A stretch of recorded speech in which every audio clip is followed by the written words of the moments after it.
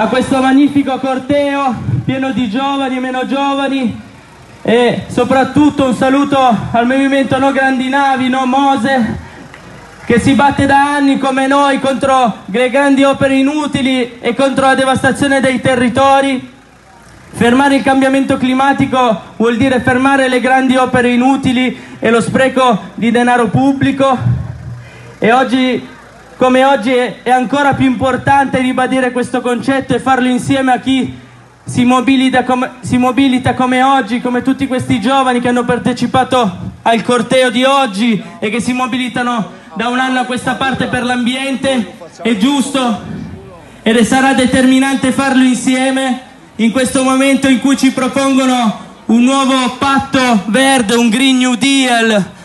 un nuovo patto verde per il capitalismo verde, dovremo essere capaci di criticare questo concetto e dire che non c'è un capitalismo verde, non esistono opere, grandi opere buone, non esiste un super treno verde, non si può dire di essere ambientalisti e poi voler bucare una montagna piena di amianto. Per questo i Notav